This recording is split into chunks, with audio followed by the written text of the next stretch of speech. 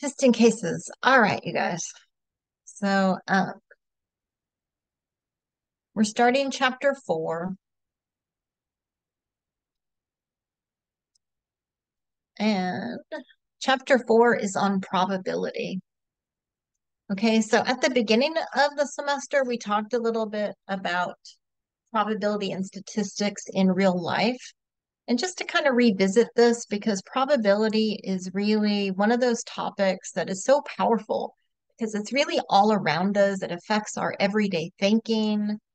Um, for at least, I would say, the last 20 odd years, probability and statistics topics have been interwoven into the K through 12 curriculum. Whereas back when I was in school, um, elementary, junior high, high school, or at least I was supposed to be in school, um, that was not the case. So I truly saw absolutely no probability or statistics topics until I was in college. And since I was a STEM major, I had a probability, uh, a calculus based probability class. so, you know, jumped right in with two feet. Uh, whereas, you know, again, now it even starts in kindergarten. So, anyways, um, these are the six sections that we're covering in the text. Um, it's, I believe, our largest chapter. It has the most homework problems. And so, fortunately, we do cover this over three classes today and then Tuesday, Thursday next week. So, we often think about probability as like the classic example with the weather, right? What is the probability it's going to rain tomorrow? And so there are computer models now that make predictions based on prior conditions and, you know, formulas and models that are created. So basically, you know, when these certain conditions are present, this kind of barometric pressure, this temperature, this humidity level, et cetera, et cetera, did it rain or not? And then based on that, we can predict, you know, in the past, it has rained say 37% of the time. And so this Saturday, there is a 37% chance of rain where I live. Um, in medicine and healthcare, we use these ideas to analyze and to make predictions of like recovery times after surgery, right? Anyone who's going in for a surgery, they might ask the doctor, how long might I expect to be out of work? Or can't I drive? Or do I need to be on bed rest? Or whatever. Um, the efficacy of medicine or vaccinations right makes predictions based on um, you know prior studies of how effective a vaccine is going to be to prevent hospitalization or death. Um, we can analyze the spread of disease like COVID. Um, for voting and elections, we're going into an election year. We just had another debate yesterday, right? And a lot of our homework problems have looked at sampling voters and making predictions about who might win an election or who or what proposition might pass, right, in a city. Um, in insurance, we can calculate risk and assign premiums based on those risks. Right? Someone driving like a brand new Mustang living in this area, you know, what's the likelihood or the probability that they might uh, get a speeding ticket or get in a car accident, those types of things.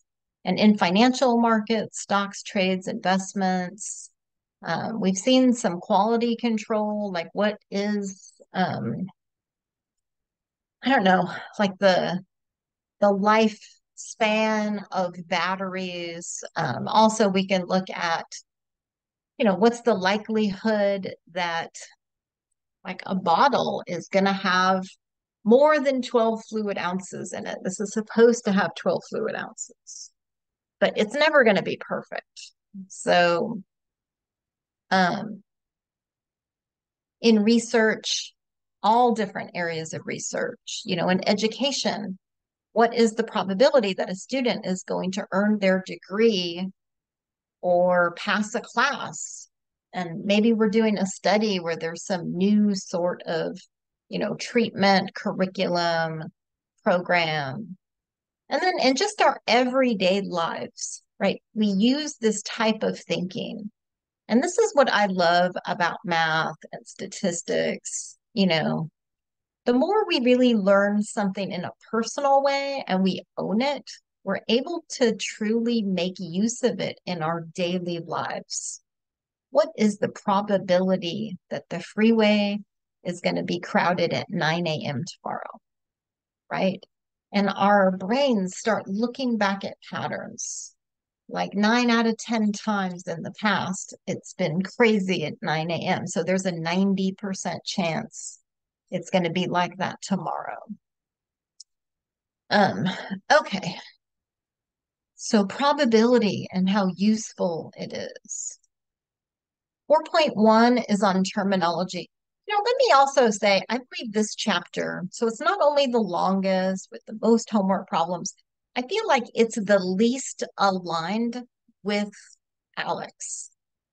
And so, I mean, I have kind of copied this from someone else. Um, and, you know, I could see they really tried to match the book. Um, okay, yeah. And, uh, but yeah, so I just want to point that out. So um, I have tried to, in the lecture notes, make sure I've included stuff from the textbook, but then I really want to make sure that you guys are able to do your homework, which is going to feed into the practice exams and your exams. And then you could always come back to the lecture notes to reinforce if you want to see a definition or something like that. And then I got a private uh, message about, you know, the pricing for ALEKS. And thanks for bringing that up. Um, I know that our free access is supposed to expire in two days. And I have been emailing these people all week, and I'm currently waiting for a response. Um, I'm I'm pretty confident that if they are not able to get the pricing right by the 30th, again, it should be $39.99. I'm pretty confident they're just going to have to extend that financial aid access date again. Okay, so I'll be uh, posting an announcement, which will be automatically emailed to everybody with an update as soon as I hear. And yeah, no one's going to lose their accounts with all their their grades. I'll throw a fit. Don't worry about that. Okay, honestly, that's never ever happened before. And you know, my my stance is always I, I have said this since I started teaching over 25 years ago. I will never, ever, ever let some outside external force affect your grade. If grades were lost, I would just have to give everybody an A. Like I would never let it negatively affect you, you know? Um, so please don't worry about that. Okay. And um, you're welcome. A blast in a glass. That's so funny. You're welcome. But truly, you know, it's just, it's not fair. And I have had, um, you know, in over 25 years, you see a lot. And I have experienced many kinds of catastrophes and, you know, problems, you know, like natural disasters, um, classes on 9-11 that I had to cancel, you know, teaching in a computer room where everything is broken. I mean, just all kinds of craziness. And I've never let it affect anybody. So um, hopefully I'll have an answer on that soon, though, to share with everybody. So for now, you guys are all good. All right, so I've got some basic terminology here, and even just these everyday words that we hear about, you know, likely, most likely, highly likely, least likely, right? Because probability can be defined as the likelihood an event will happen, right? How likely is it? It could be impossible. There is a zero probability. It could be certain. There's a 100% chance, right? Absolute certainty, etc.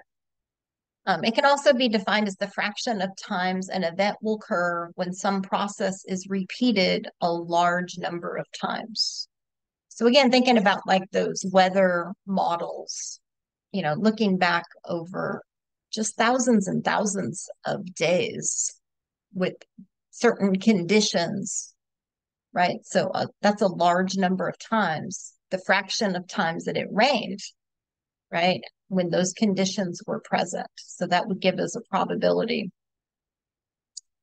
Uh, we define a sample space as the set of all possible outcomes for an experiment, which is a chance process undertaken a large number of times together with the results. So I know we oftentimes think of an experiment as like in a chemistry lab or something, but it really could be anything. Like, hey, I I'm teaching with a new textbook. I want to compare how one class did on the exam with my other class, right? This is an experiment. Um, a trial is each observation of an experiment.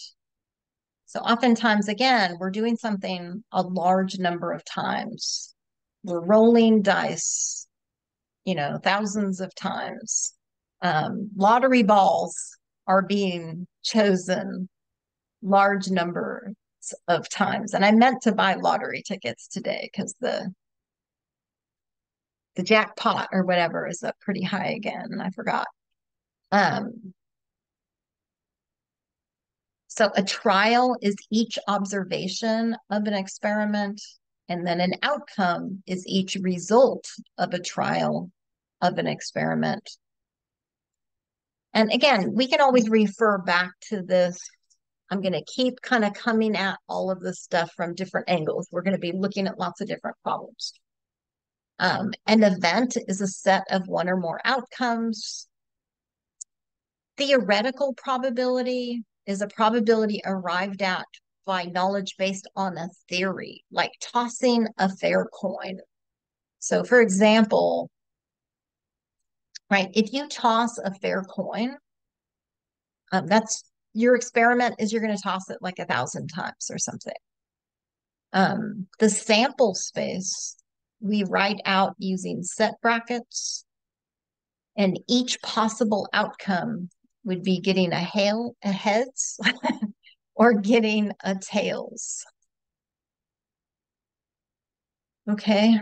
If you're looking at, say, you know, we're going to be trying to find out the probability of getting a heads, then, you know, flipping heads mm-hmm. is an event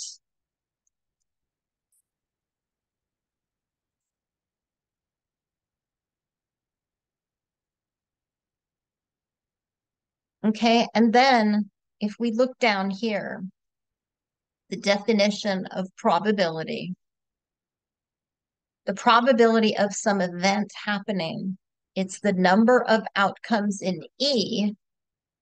So if we say we're looking at what's the probability of flipping a heads as our event, the number of outcomes in E, there's only one outcome there.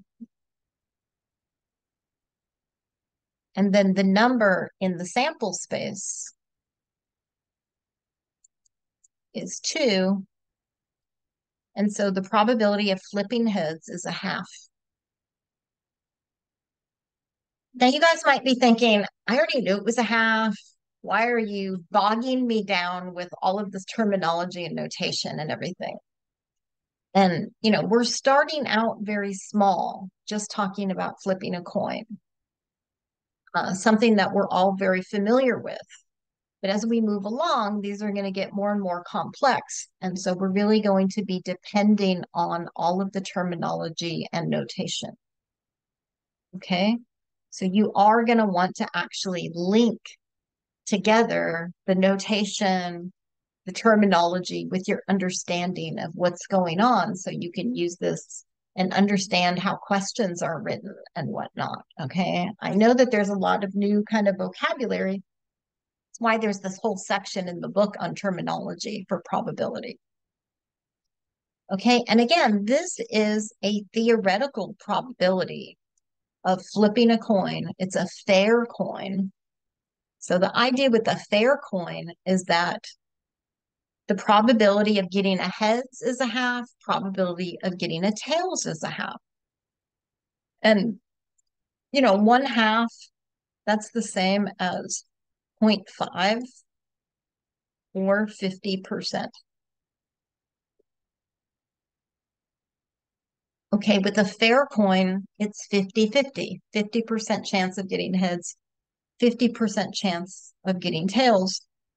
But again, in practice, there's literally no such thing as a fair coin where it's literally exactly 50%. If there were, we would not be able to prove that, right? Because our machines have some kind of error in them. And if we were trying to somehow measure it, our measuring device is also man made. It's going to have some inherent error in it. Okay. This kind of error problem has been plaguing human human beings throughout history. I mean, I I think about the Greeks trying to prove some of the geometry stuff, and they thought if they made like really huge triangles, they could try to prove like precise things, and you just can't. Okay, everything in math is pretty much an idealization. There is no perfect circle. There is no perfect rectangle. There is no perfect triangle. There is no perfect coin. Okay, so we also have this notion of an experimental probability. And this is found by comparing how many times an event occurs to the total number of trials. So, for example, suppose you flip a coin a thousand times.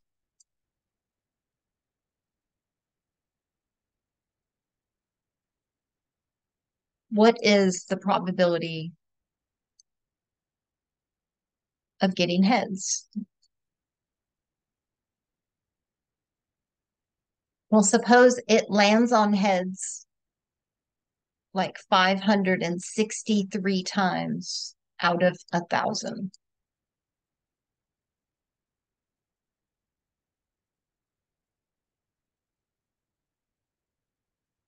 Right. So it's close to 50%. It's a little bit more. And you know, the the larger the number of times, the closer this ought to be to the theoretical probability. If it's a pretty reasonable coin, you know. Okay. And so again, in real life, we know that things aren't exact. So depending on what we're doing, we would more likely go with an experimental probability because in practice, that's what we're using, you know? And it's good to compare it to a th theoretical probability. Okay, so again, I'm trying to, you know, impart some big picture understanding and whatnot. So the probability of an event happening is some number between zero and one. Okay, a zero probability means something is impossible. Like you have a fair coin. What's the probability it lands on a jack? It's zero because you only have heads or tails, not a jack. I just made that up. Um, right. What's the probability that if I reach in my wallet, I'm going to pull out, you know, I have so many bills. I have singles, I have fives, I have 20s. What's the probability I'm going to pull out some Japanese yen zero. I don't have any Japanese yen in my wallet, right? It's, so it's impossible. Um, one is absolute certainty. That's a hundred percent. Okay. It's like one whole pie. This is zero percent. And then probability is any number between there. Like we had 50%.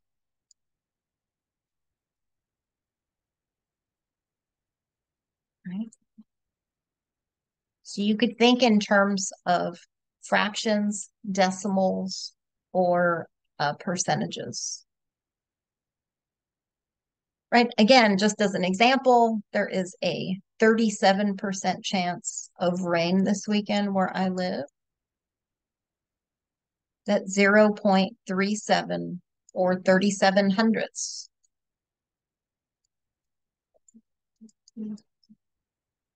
These are all numbers between zero and one. You could think of like the change between zero and a dollar, right? Okay.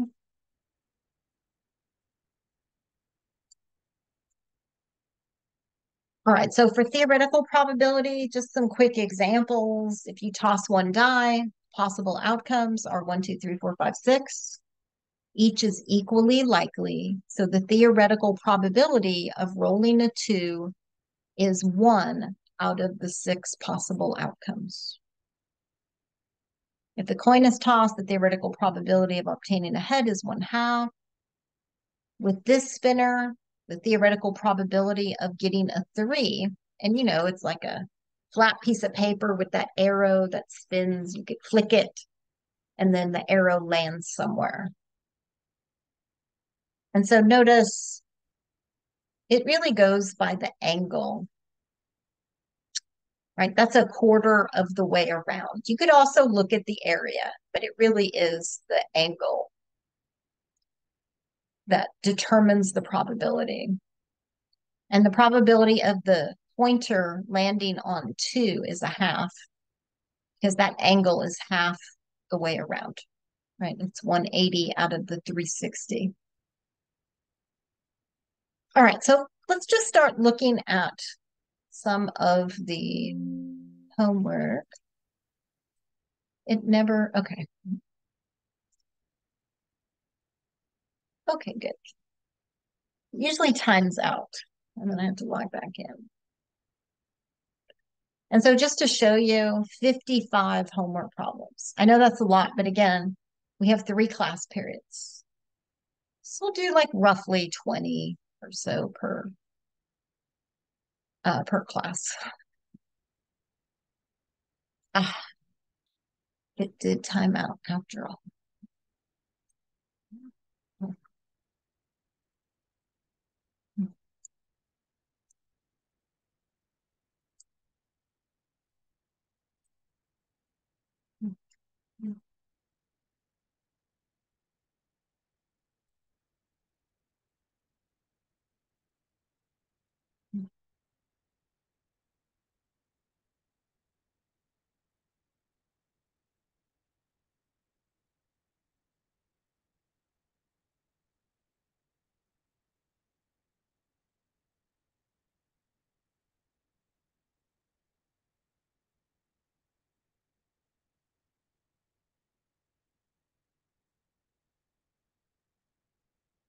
Okay, a bag has six balls labeled A, B, C, D, E, and F.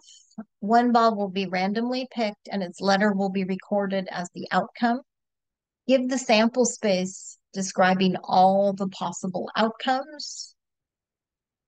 And then uh, give the event of choosing a letter from D to F. And so notice ALEKS already gives you the set brackets because we list elements of a set in set brackets. And so the sample space just contains those elements separated by a comma. And then the event of D through F is D, E, F. Okay, pretty straightforward. Let's see if there's something different. A number cube with faces labeled 1 to 6 will be rolled once. Give the sample space describing all possible outcomes. So you're just going to list all those numbers from 1 to 6. Then give all the outcomes for the event of rolling an even number. So it's a subset of the sample space. Those are all the even numbers, 2, 4, and 6. Okay.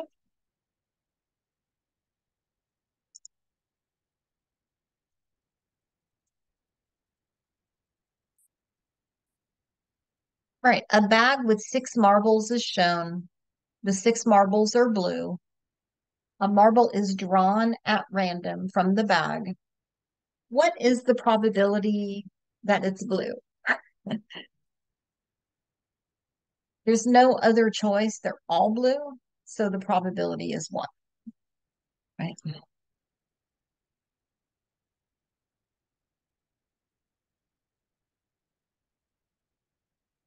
Let's see a difference.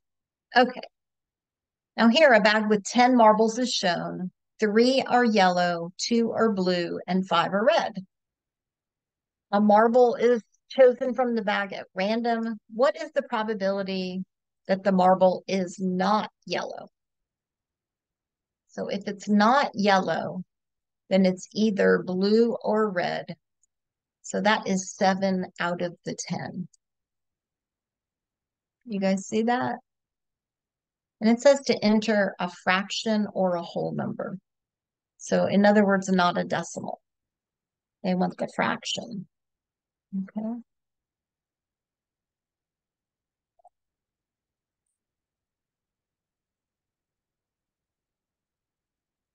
Okay, there are four red marbles, three yellow, and one blue, with eight marbles in this bag. A marble is chosen. What's the probability that it's red? So you've got a four out of eight chance of drawing a red marble, which simplifies to a half, but it's fine to leave it unsimplified. Sometimes, especially if we're comparing it's nice to compare when they all have the same denominator.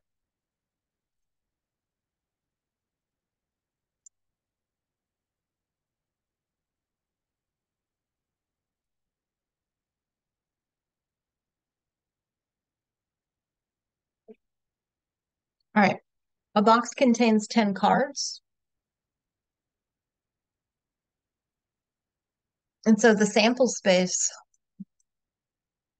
it's all those letters.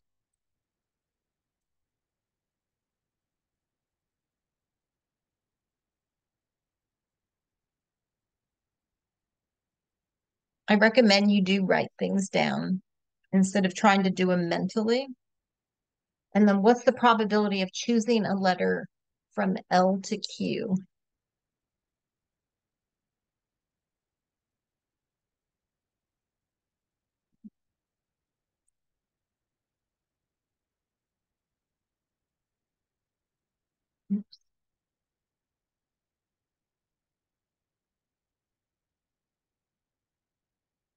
So there are 10 in the sample space, and there are one, two, three, four, five, six in the event.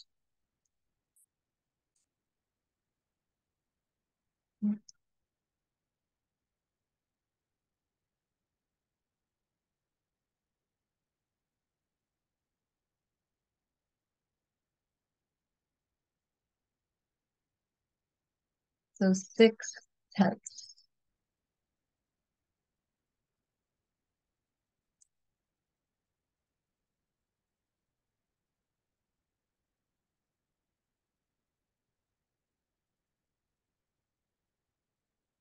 All right.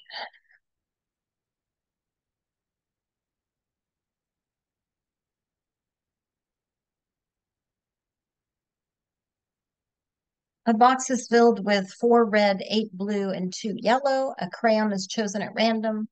Find the probability that it's a red or a yellow crayon. So altogether, you have 14 crayons. Right, that's the total number. And number of crayons that are red or yellow, there are four plus two or six. So you've got six fourteenths. You could simplify it, but again, it's customary to leave the denominator. Okay.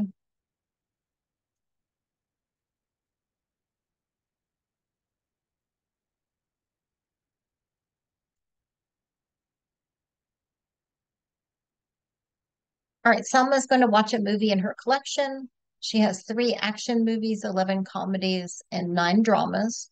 She will randomly select one movie.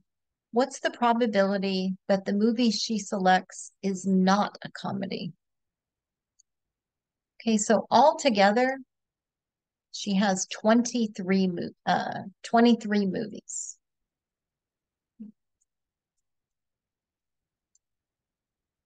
That's the number in the sample space.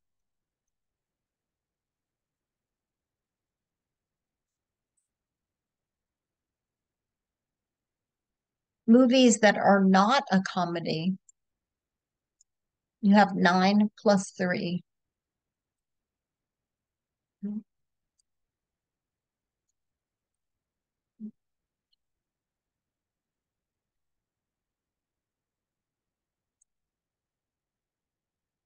Okay.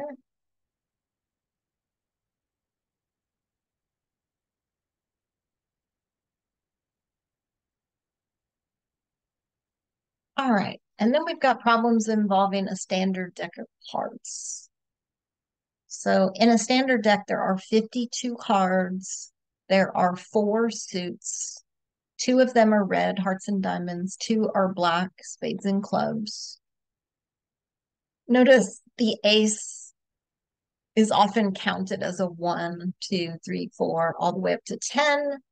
And then this would be 11, 12, 13 cards in each suit. And then 13 times four is 52.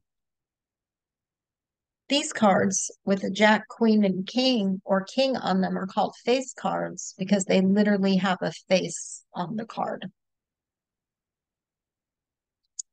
So what's the probability if one card is drawn at random that that the card drawn is a 10?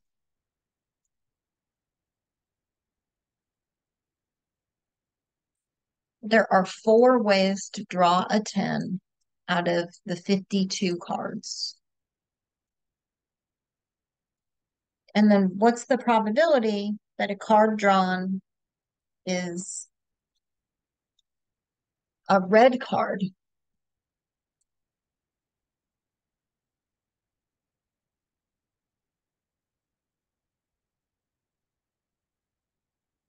So I've got 13 and 13, that's 26 out of 52, which by the way is a half, right? Half the cards are red.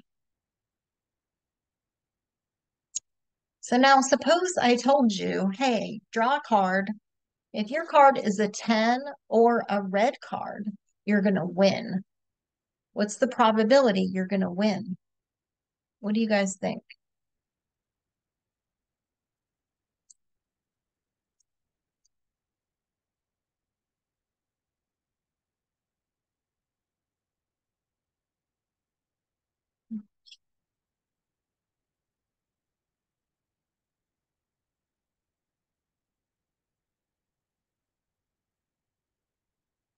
Right? We count all the possible ways you could win.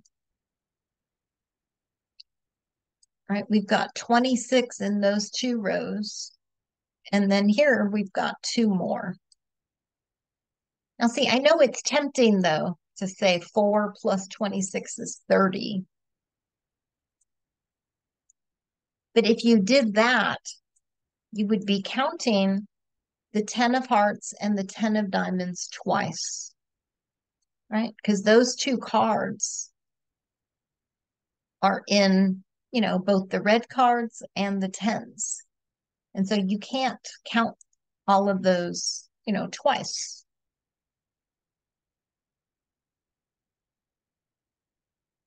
Okay. And this is actually a principle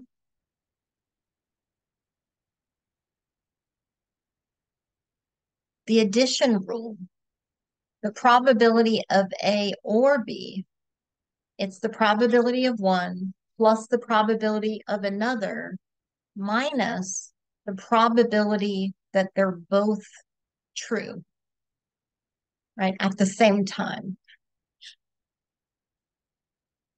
So the probability that they're both 10 and red, right? You subtract one of them because you've counted them twice.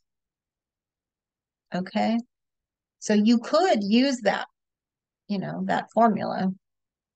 You could say it's four out of 52 plus 26 out of 52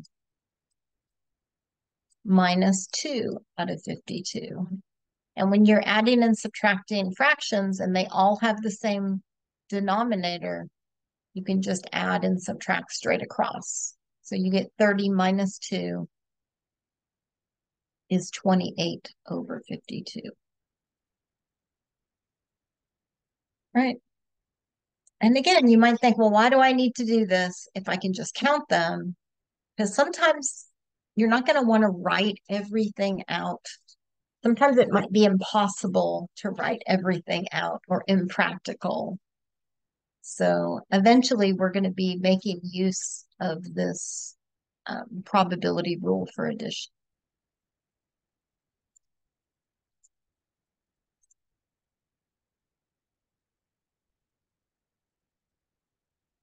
Okay, so what about this one, you guys? What's the probability that a card drawn is a heart?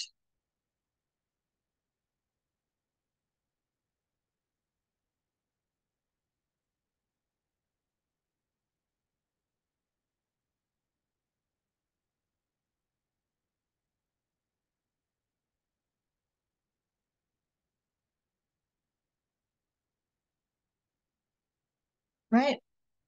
Either way, we could say a fourth because a fourth of them are hearts, or you could say 13 out of 52. And then what's the probability that the card drawn is a face card?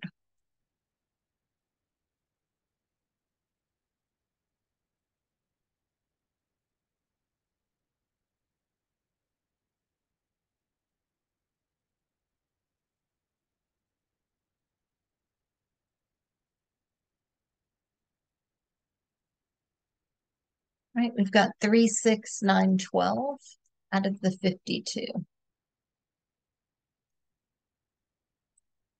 What's the probability that the card drawn is a heart and a face card?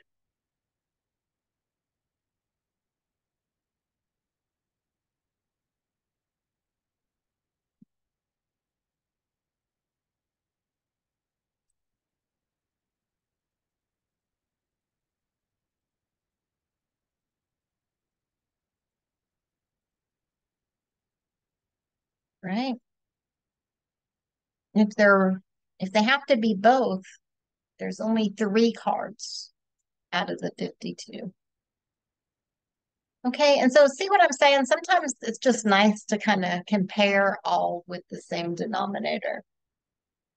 Just saying. But ALEKS will accept simplified fractions too.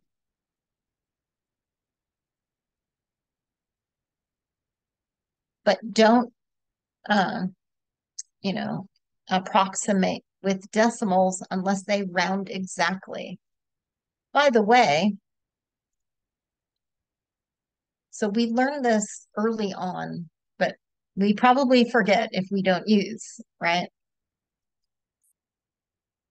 Some fractions can be expressed precisely with a decimal.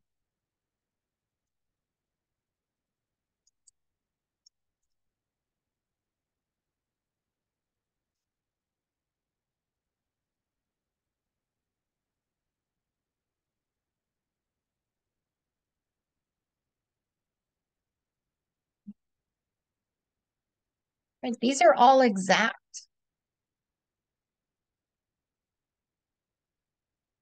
But where you get in trouble is what about a third?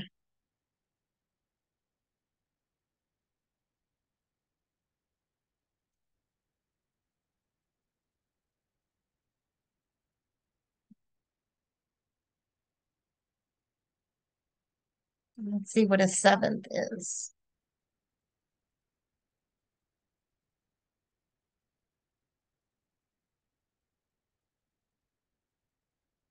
Approximately.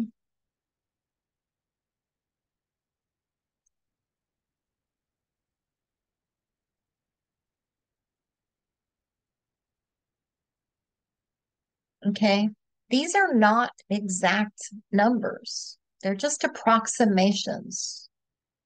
They don't have an exact decimal equivalent. The only fractions that have an exact decimal equivalent are ones where the denominator only has factors of uh, twos and fives. So the bottom must have, must factor into twos and fives only.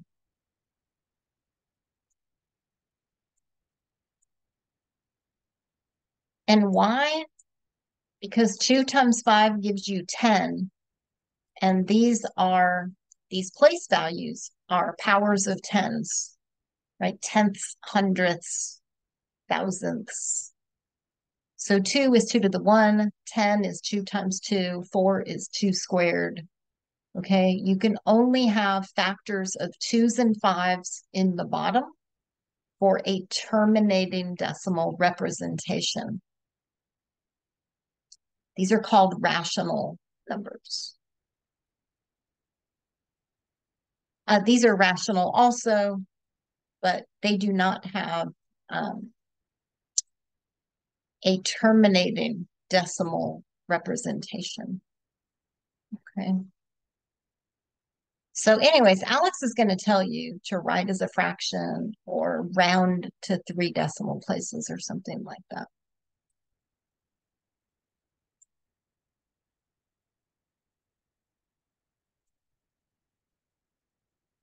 Okay, there's also this notion of a complement. Um, an event and its complement add up to 100%. So for example, the event, it's going to rain Saturday, is the complement of it will not rain Saturday. So 37% chance it's going to rain, 63% chance it will not rain. There are no other options. Either it'll rain or it won't. They're called complements of each other and they add up to one or a hundred percent. So like here, you have 10 cards. They're either gray or they're white. So the probability of choosing a gray card plus the probability of choosing a white card is a hundred percent. Um, a card is drawn at random. Let X be the event that the card drawn is gray. So P of X is the probability that the card drawn is gray. And then let, notice it says not X, right, be the event that the drawn card is not gray. So again, it's either gray or it's not gray. They're complements of each other. So for each event in the table, check the outcomes that are contained in the event, and then um, enter the probability. So for the event that the card drawn is gray, and it's helpful that they've grayed out the outcomes here for you too, you would just select which ones are gray. And so you've got three, four, five, six, seven out of the 10 are gray. And then not gray is four, seven, and 10. Those are three tenths. Notice seven tenths plus three tenths equals one. 1 minus p of not x. So p of not x, the probability not x, is 3 tenths. 1 can be written as 10 tenths. So 10 tenths minus 3 tenths is 7 tenths.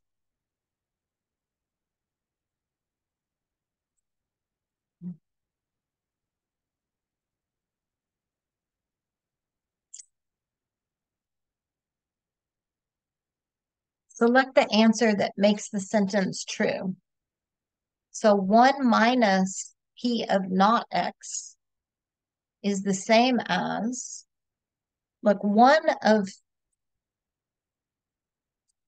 1 minus p of not x equals 7 tenths. Look at what else equals 7 tenths. It's the same as p of x.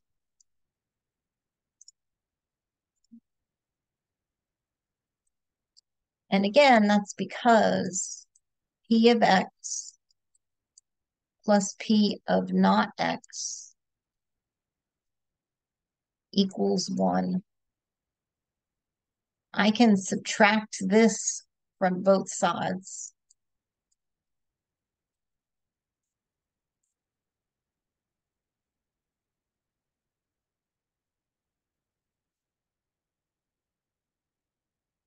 And so p of x is the same as 1 minus p of not x. Right. In other words, either one of these, it's one minus the other because added together, they make up one whole. Right. So I, I almost picture, you know, like literally, there are two pieces.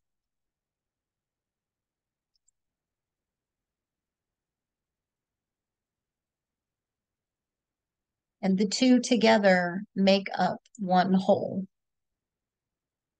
So if you have a whole and you take away this piece, right, you're left with the other piece. If you have a whole and you take away this piece, you're left with the other piece. Because together they add up to one, okay?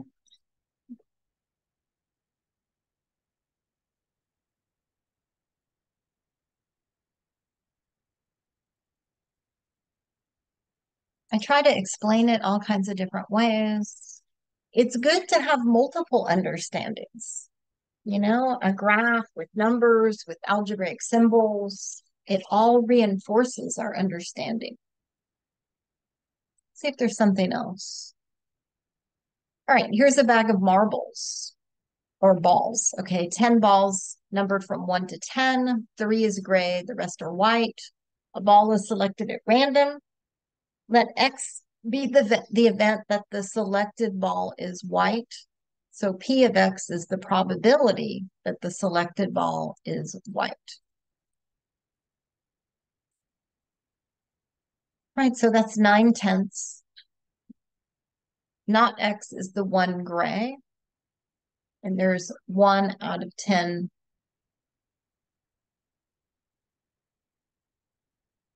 One is 10 tenths, minus 9 tenths gives you 1 tenth. And that's the same as P of not X.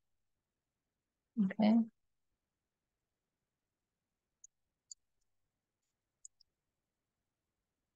Right. P of X is 9 tenths. So 10 of them minus 9 of them gives you 1 of them.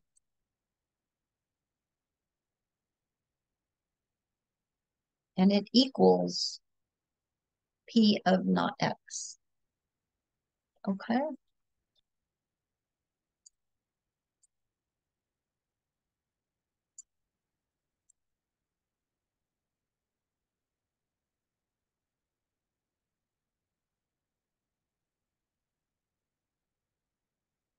All right, Kiko works as an IT tech for a local companies. There are 100 computers on the network, and 86 of them are not infected with a virus.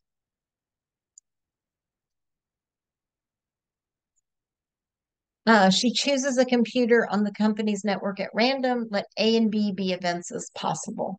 The computer she chooses is not infected with the virus. So not infected, there are 86 out of the 100. So how many are infected with the virus?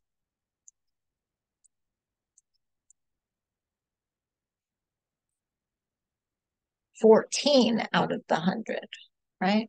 Because either it's infected or it's not.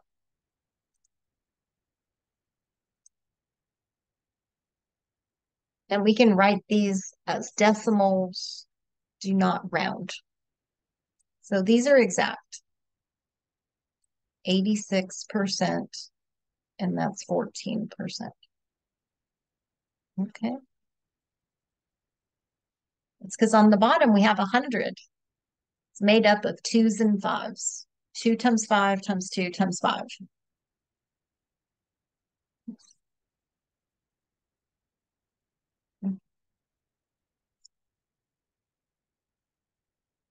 All right, let's see if there's another situation. All right, in a certain online computer game, there are 100 players. 46 are not on the green team. The game randomly chooses a player to receive a bonus. Let A and B be as follows. Find the probability. So what's the probability of A? And what's the probability of B?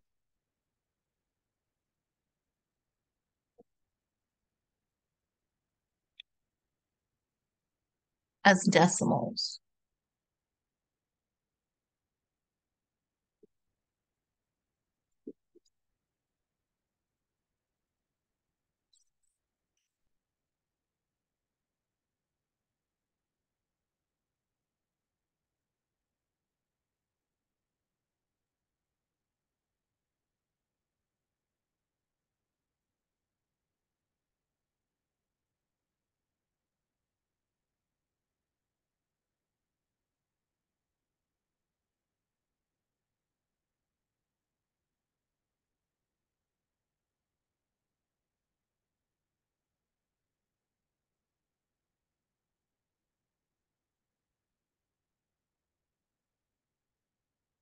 Right. A is not on the green team. So 46 out of 100 are not.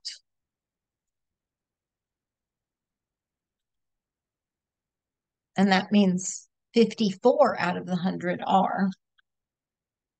Okay.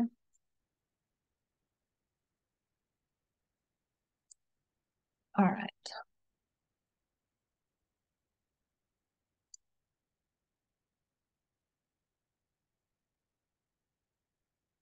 LaShonda rolled a number cube 200 times and got the following results. Round your answers to the nearest thousands. Okay, so she rolled the number one 45 times, the number two 24 times, et cetera, et cetera. So what's the experimental probability of rolling a two? It's going to be 24 out of the 200 which is 0.12. Okay. Now, theoretically, each one of those numbers, one, two, three, four, five, and six, are equally likely. So there's a one out of six chance of rolling a two, which is approximately now, this is rounded to 0.167. round to the nearest thousandths. Okay, so the larger the number of rolls, the greater the likelihood that the experimental probability will be close to the theoretical probability. Mm -hmm.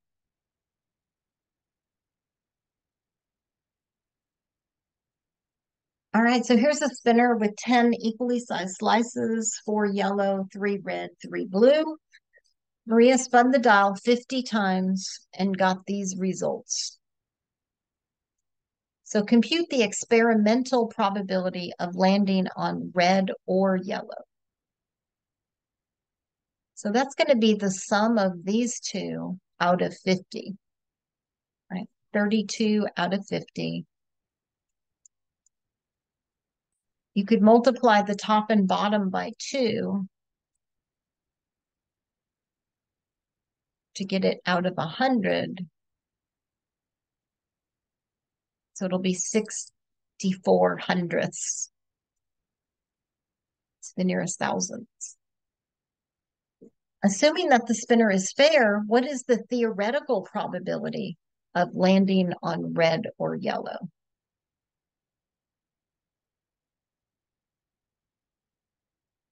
So there are four yellow and three red out of 10, and they're all equally sliced, sized. So that's seven out of 10.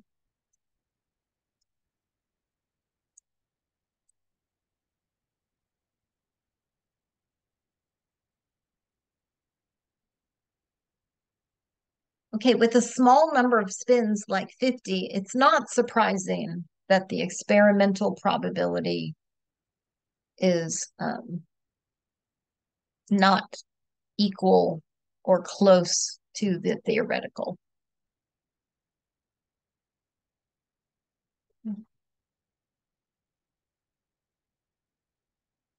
Or in this case, it's much less.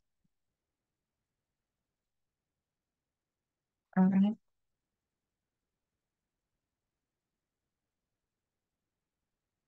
Trying to squeeze it all in. There's no winning. All right.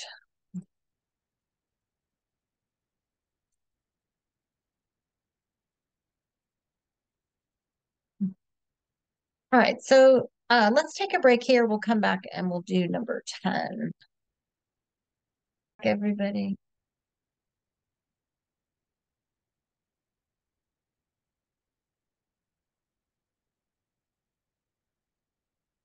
Okay. A number cube is rolled three times. An outcome is represented by a string of the sort OEE, meaning an odd number on the first roll, an even number on the second roll, and an even number on the third roll. The eight outcomes are listed in the table below. Note that each outcome has the same probability. Okay, so one trial is rolling the cube three times. So here, one outcome is getting odd, odd, odd. One outcome is getting odd, even, odd, etc., etc. So for each of these three events, check the outcomes and then enter the probability. So two or more even numbers were rolled. So here we have two. Three is two or more. Here's two. Here's two. So that's four out of the eight.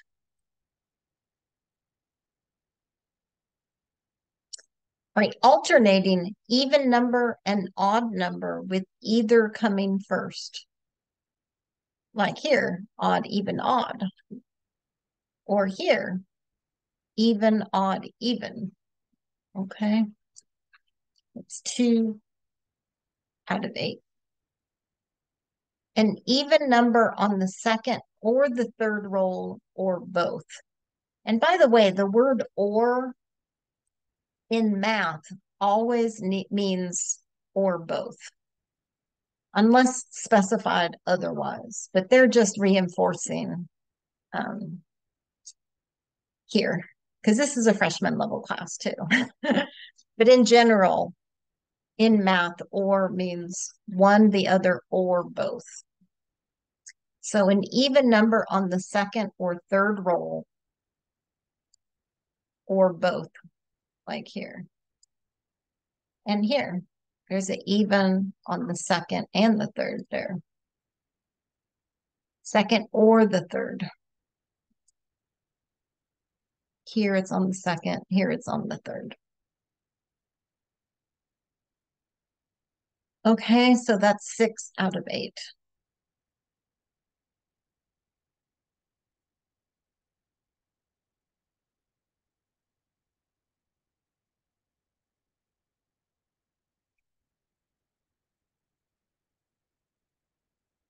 And okay. So these are pretty straightforward. You're just checking off the outcomes that match the events and then counting which ones are checked, how many are checked off out of the total possible outcomes.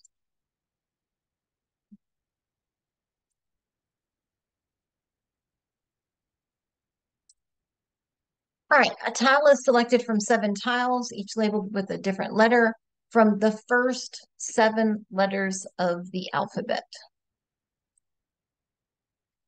So let's write that.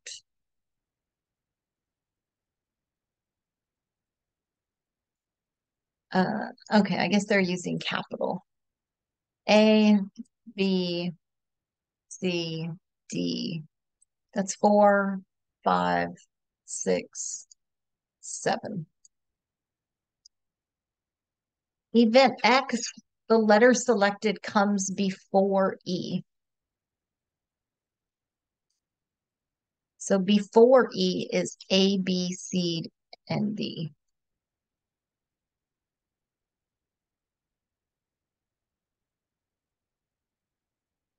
And Y, the letter is found in the word face. So I'm just going to put them in alphabetical order. You don't have to, but I think it's easier to compare when we have everything in alphabetical order. So the event X or Y, this is like you would win if you had a letter that was in X or Y. So you want to include everything. Everything in both.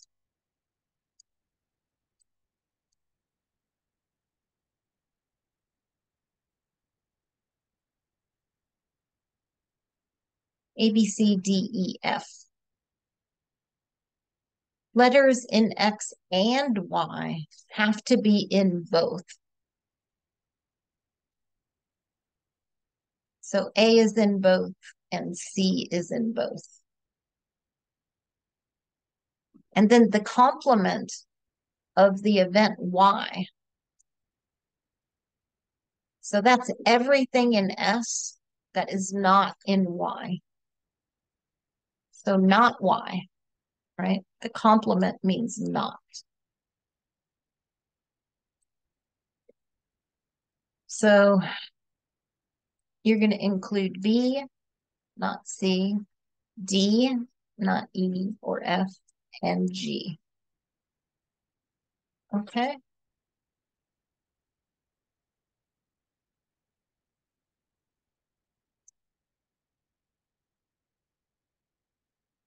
All right.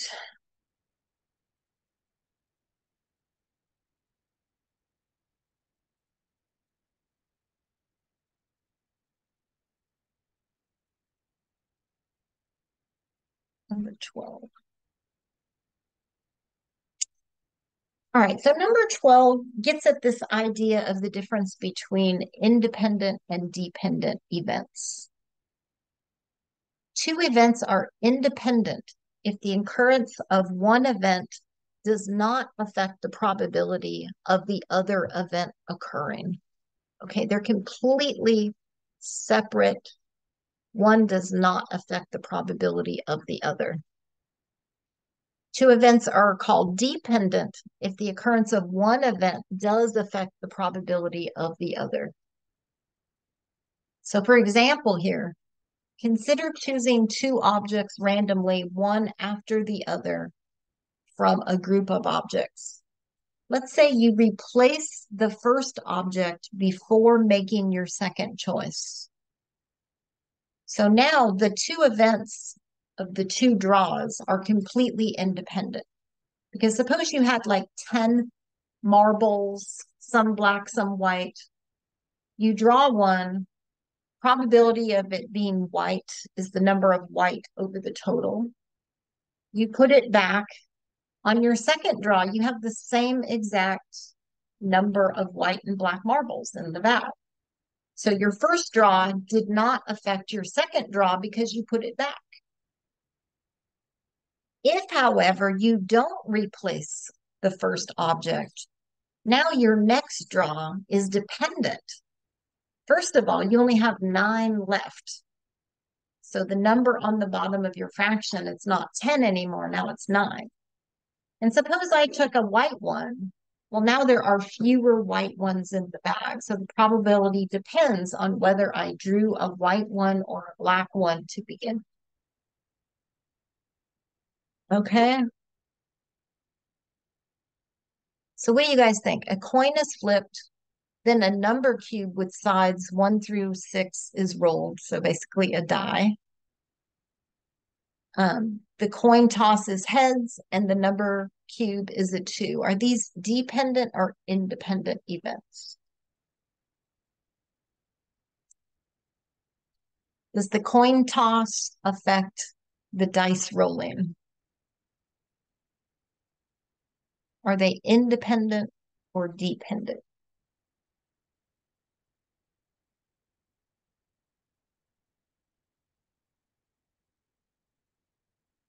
Do you guys agree?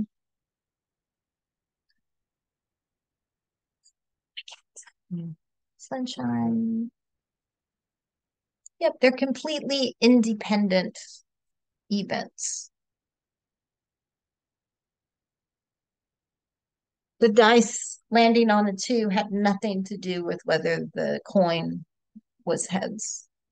All right, a paper clip is randomly selected from a container with green clips and white clips, and then it's returned. The paper clips are mixed, then another random selection is made. Are these two events independent or dependent? The first is a white, the second is a green. Sunshine. These are independent because you replaced the first paper clip. Mm-hmm. Okay. What do you guys think about the next three? Go ahead and put, you know, D or I for each one of those three while I bring my cat upstairs.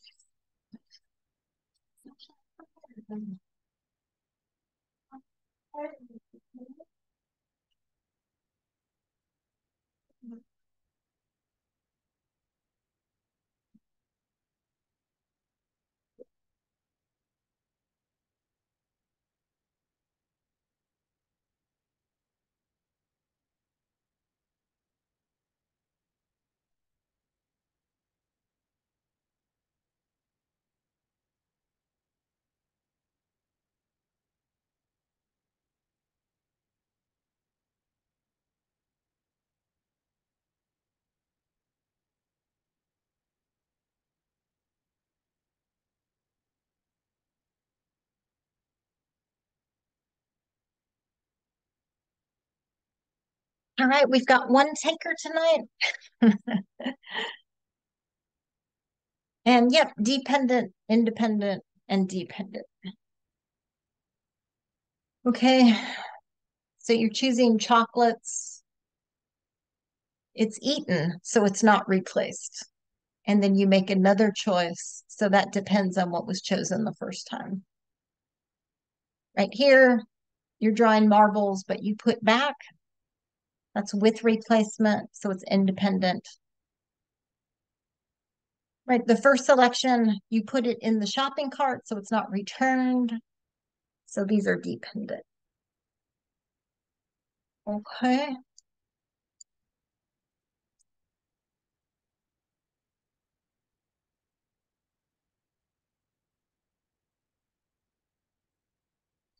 All right, a spinner has 10 equally sized sections, six are green, four blue. The spinner is spun, and at the same time, a fair coin is tossed. What is the probability that the spinner lands on blue and the coin toss is tails? And so it turns out that when you have two independent events, the probability of A and B is the probability of A times the probability of B. Okay, so if two events are independent, the probability of both is the product of their probabilities. So here, uh, you want the probability that the spinner lands on blue. So there are four out of the 10 times the probability that a coin toss is tails. So that's a half.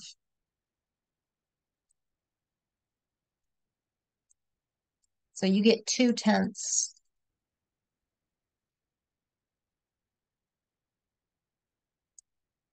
Okay.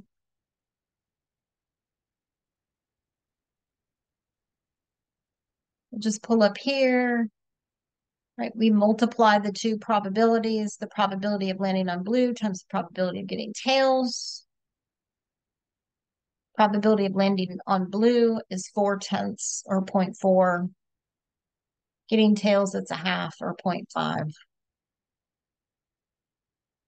Okay. And we're going to see more later on why we multiply. On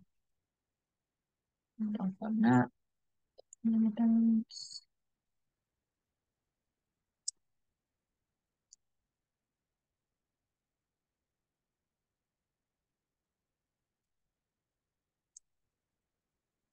Okay, when we have dependent events, on the other hand, like here, you have a box of 13 candies, four taffy, five caramel, four butterscotch.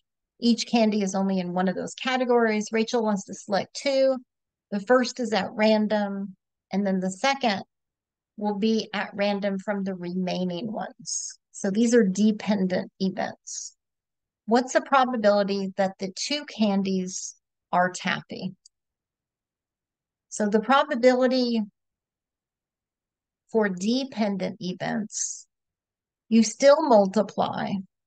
You multiply the probability of A and then times the probability of B given that A happened. Okay, so we read that as the probability of B given A, and it's called conditional probability. So it's the probability of B and the condition is that A has occurred. And so originally you've got four taffy out of the 13 candies. Once you've selected one, you only have 12 left total, and you only have three taffy left. So the probability of B given A is the 3 twelfths. And then you multiply. You can round to three decimal places. Okay.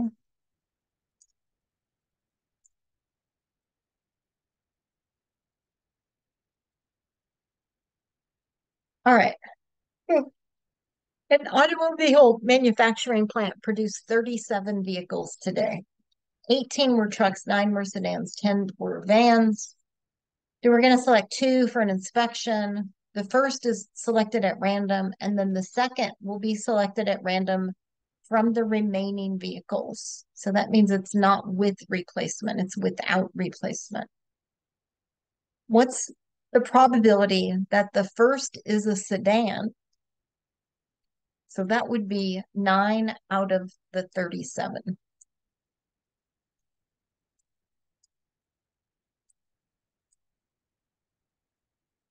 And then the second is a van.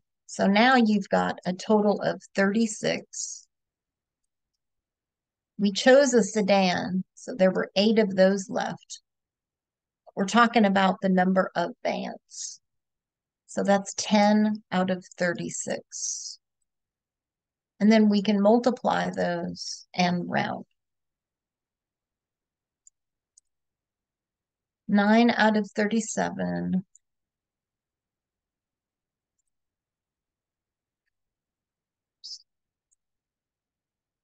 times 10 over 36. And if you round to three decimal places, it'll be 0.068, right? You're going to round up. Okay. So these are dependent evens.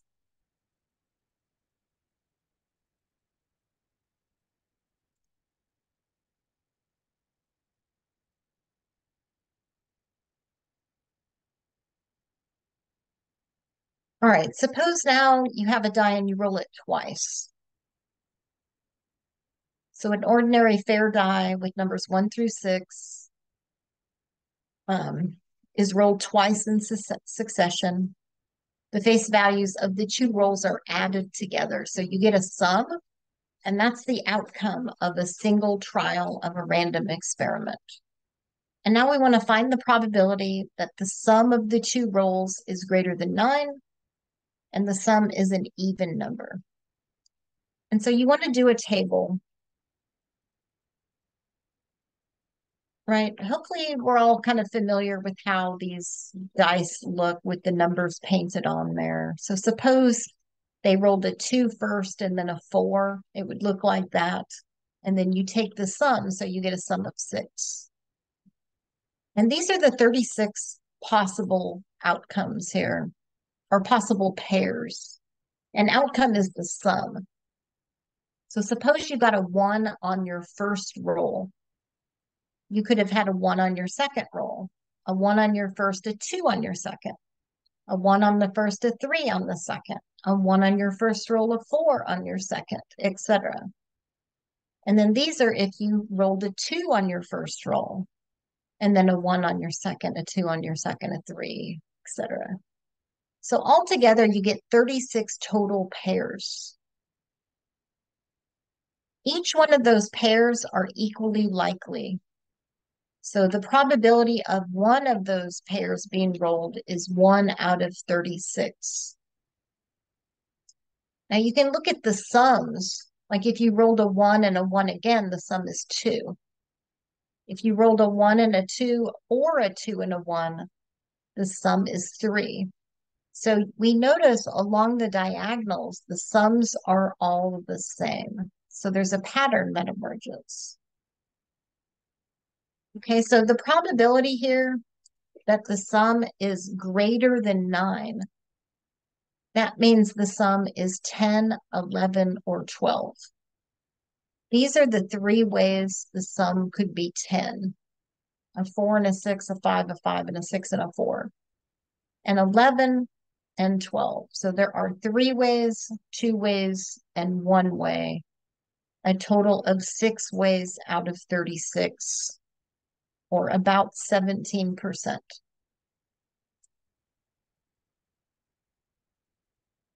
Okay, the probability that the sum is an even number. So that means the sum is a 2, a 4, a 6, an 8, a 10, or a 12. And again, you're just going to look at the diagonals a two, a four, a six, an eight, a 10, and a 12. And count the number of ways. There's one, there's three, there's one, two, three, four, five. There's one, two, three, four, five. There's one, two, three, and there's one. So there's nine and nine. There are 18 out of 36 ways to get an even sum or about 50%. 50% odd, 50% even, it turns out. Okay. So again, don't try to do these in your head. You have to really write out the table. Okay. Um,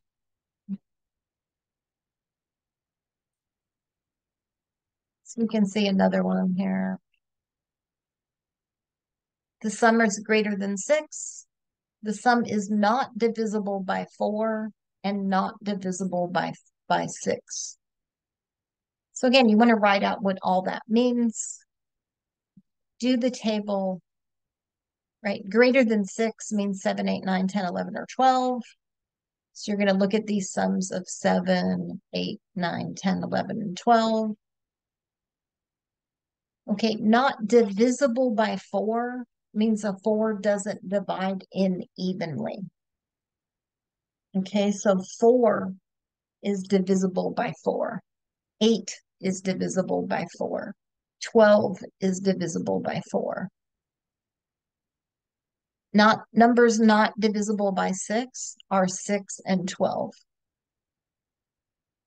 So these are the possible sums, and then you could count how many times it's possible to get those.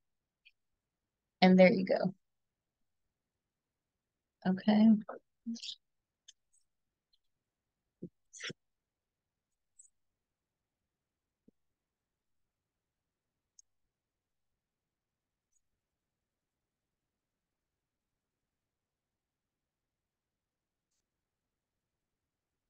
Okay, so here we have a standard deck of cards again. Suppose a card is drawn at random and then it's shuffled back in the deck. So this is with replacement. And then the second time a card is drawn, what's the probability that the first card is a face card and then the second one is a heart? Okay, so these are independent events. You can just do the probability of the first, which is 12 out of 52, times the probability of the second, which is 13 out of 52 or one fourth, and then multiply them together. 12 out of 52 times 13 out of 52 or one fourth. Okay, and these are asking to round to four decimal places. So pretty straightforward. Just so you know, some of these might ask you for three things, and we can extend this um, probability rule to three events. So let's see. Yeah. So here a card is drawn at random, then it's put back in the deck. Then the second card is drawn at random and then put back in the deck. And then a third card is drawn. So what's the probability of first drawing a black card? That's a half. Then a face card. That's 12 thirteenths. And then times a red card, which is a half. Okay. So you're going to now just multiply all three of those together. A half times 12 over 52 times a half. Okay.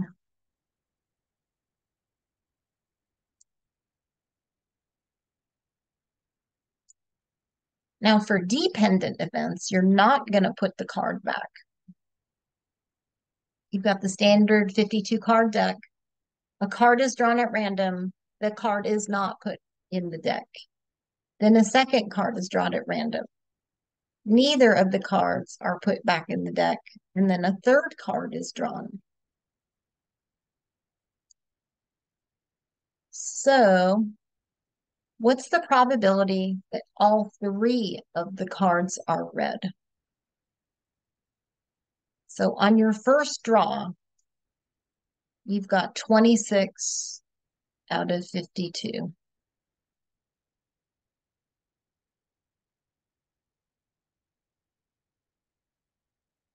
For your next draw,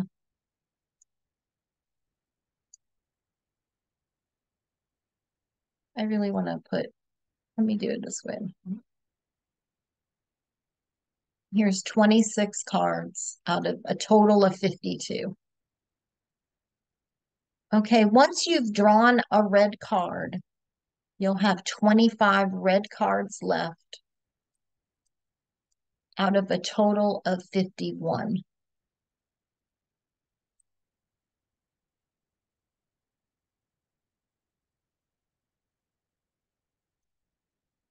Then once you've drawn that one, you don't put it back. So there are 24 red cards left out of a total of 50 cards. Okay. And then you can multiply this on your calculator and round to four decimal places. In the interest of time, they've already done it right here. Okay.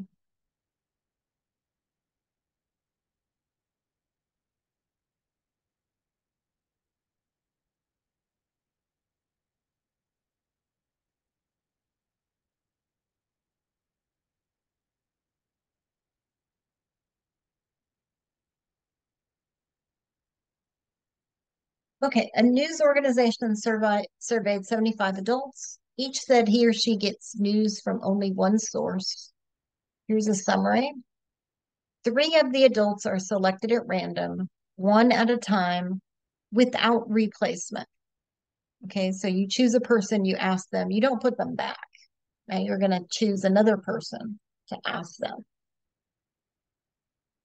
What's the probability that none of them get news from the internet? So none of them get news from the internet means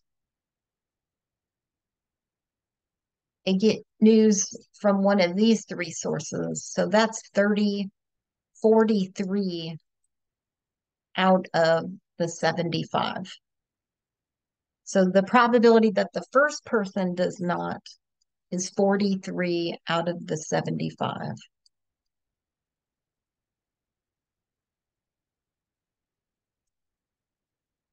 Now, once you've taken that person, you've got 42 people left out of 74 people.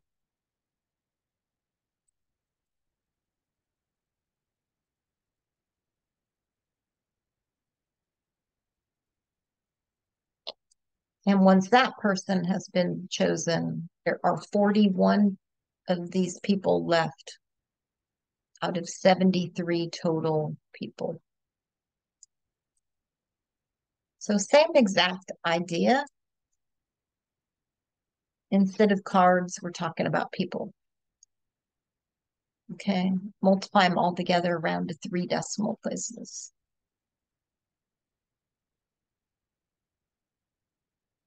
All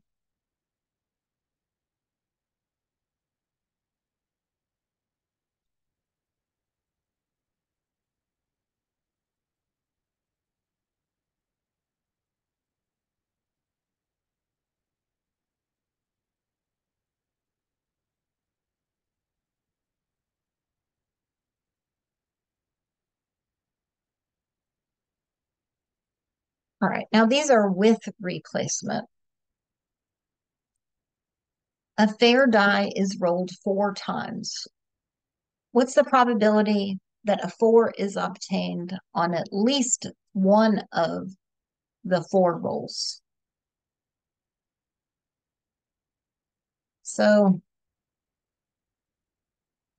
sometimes it's easier to look at the complement right? The probability that a four is obtained on at least one of the rolls, that's one minus the probability that there was no four among any of the rolls.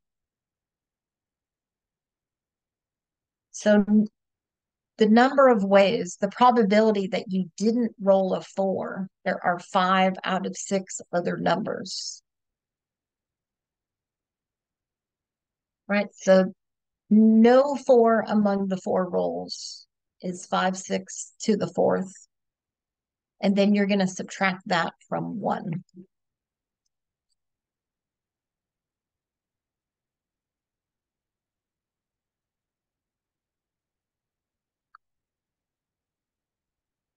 Otherwise, you would have to do the probability of you getting a four on just the first roll plus the probability of getting a four on just the second, plus the probability of getting it on the third, etc.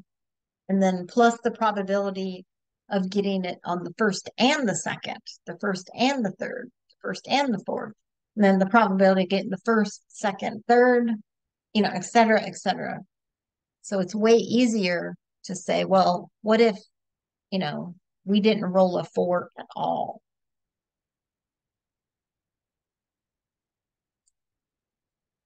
All right. An urn contains six green and seven red balls. Four are randomly drawn in succession with replacement. That is, after each draw, the selected ball is returned. What's the probability that all four draws, um, all four balls are red? Okay, so I mean, I kind of, we're gonna, since you're replacing the balls, right? This is probability with replacement. They're independent events. You're just to multiply the probability times the probability on the next one, times the probability on the next one. Um, four times. So I kind of picture, you know, multiplying the four probabilities like this. So the first time, the probability of drawing a red ball, it's seven out of 13 total.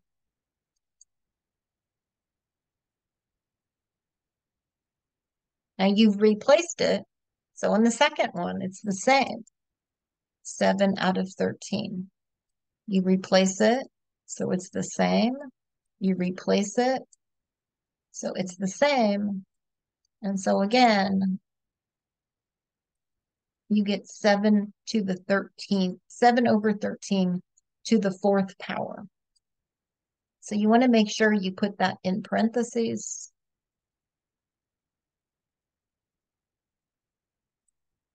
And then raise it to the fourth power. And then round to three decimals, so 0.084.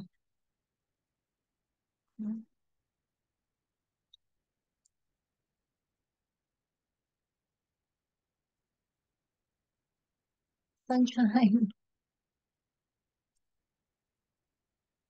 All right.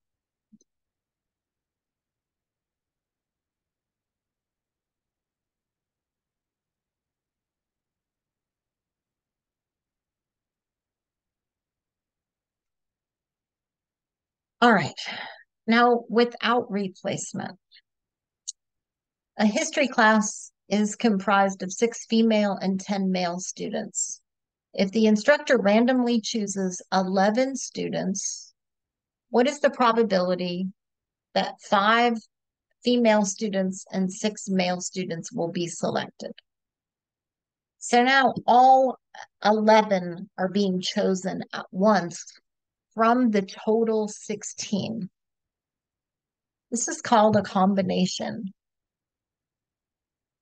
And so we want to find, and again, you know, it's kind of assumed that you guys have seen this before. It's taught in algebra. You've probably seen it elsewhere, just in K through 12 in high school. Um, but we are going to go back and look more at the counting and combinations and how this all works. Sunshine, hold on. So you're choosing 11 from the 16. This is a combination and we say 16 choose 11. Manually, there's a formula. You know, in general, we would say n choose r. And the formula is n factorial over n minus r factorial times um, r factorial. And we're going to look at these factorials and whatnot as well. But for now, very handily, I might add, ALEKS has the built-in combination in here. So 16, choose 11. This is the number of ways you can choose 11 things from 16 things. And now specifically, you want to choose five females from the six females and six males from the 10 males. And so we want to get these two and multiply them together. And then we can get our total probability, right? So that's the number of ways of getting both of those 1260 out of the total ways of just choosing the 11 out of the 16. Okay, so I'm going to jump down to um, the counting principle. And again, we've all seen this before, but um, it's really good to have this understood. And ALEKS does it, so they're using the same types of, you know, problems and terminology and everything. So the Ross family is selecting a furniture set. Furniture set has a bed and a dresser. There are five beds and two dressers to choose from. How many different furniture sets could they select? Okay, so we could envision this tree diagram. There are five different beds, and for each bed, you could choose a different dresser. And so you could kind of go down, you know, a branch, bed one, dresser one, bed one, dresser two, bed two, dresser one, etc. And you end up with 10 different furniture sets. This is one of the actual approaches to multiplication. Understanding this kind of like array. It's an array approach. Um, and we can use these tree diagrams. So like Deborah's ordering an ice cream dessert. There are two sizes, three flavors, and two toppings. So you could simply multiply those together to get the total number of different desserts. Two times three times two. This can help us visualize, look how big these trees start getting, right? And we're just using very small numbers. But sometimes, you know, it can be handy to just think in terms of like, what would I do? you know. Each one of these is called a stage. So the first stage, you're choosing the size of the dessert. The next stage, you're choosing the flavor. And then the third stage, you're choosing the toppings. Hold on, hon.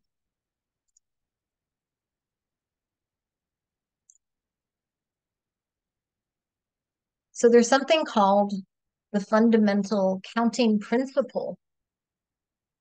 Um, I guess that's explained on the next topic. Okay, hold on a second. Sorry.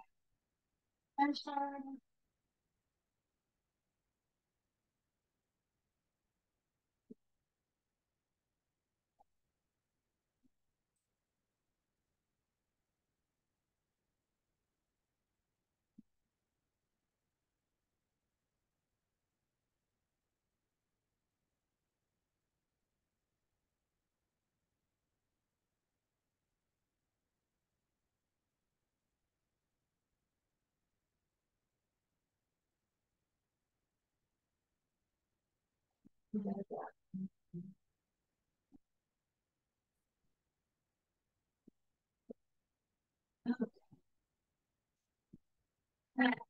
cat knows if he goes down there and yells, I'll, I'll go pick him up. He's so smart.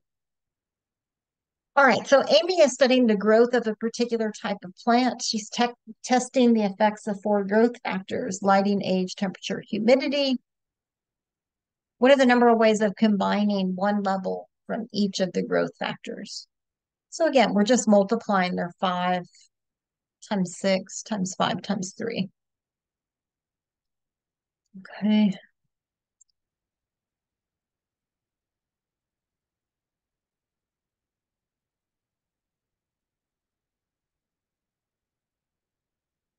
Okay, and then we start talking about with and without rep repetition allowed.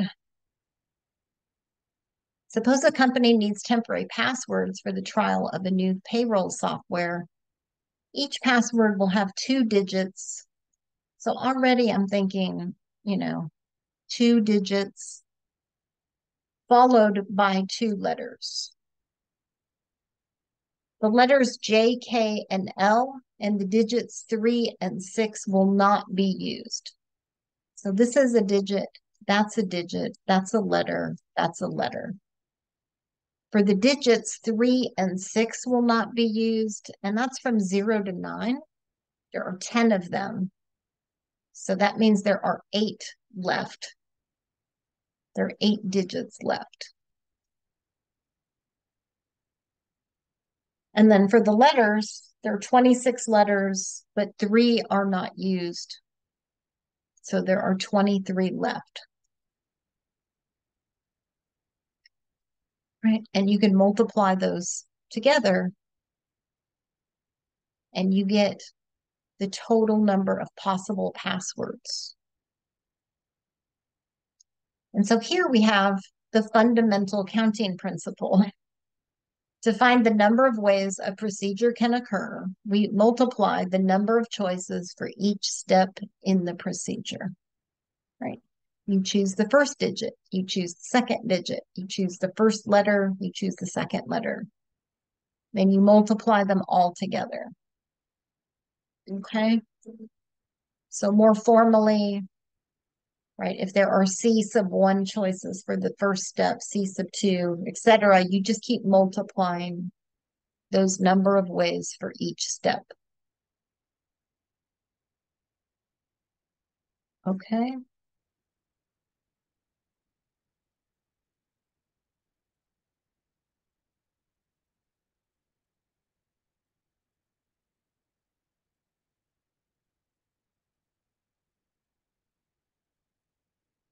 And now suppose there's a specific arrangement. Like 12 dancers are going to line up on stage. Six are wearing black and six are red. A dancer wearing black must be in the first position and then they must alternate. In how many ways can the dancers line up? So you've got six choices to begin with for the black. These are the positions. Once you've chosen someone wearing black, you've got six choices for someone wearing red. And then there are five left wearing black, five left wearing red, four left wearing black, etc. So eventually you kind of see the pattern and you can just extend it and you multiply all those together. There are over a half a million ways you can line them up. Which is pretty amazing, I think.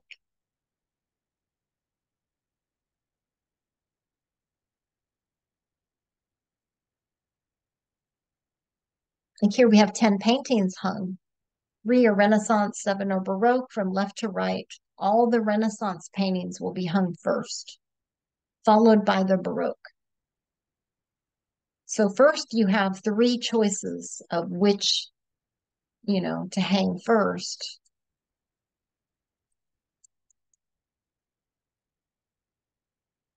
Right? Renaissance, Renaissance, Renaissance, and then all of these are Baroque. You've got three choices. Once you choose one, there are two left, and then there's one left. Then you've got seven choices, then six choices, then five, then four, then three, then two, then one. So you multiply all these together. Okay. Three times two times one, etc.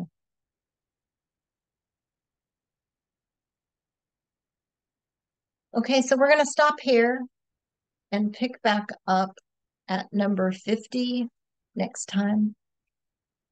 So have a good night. Have a good weekend.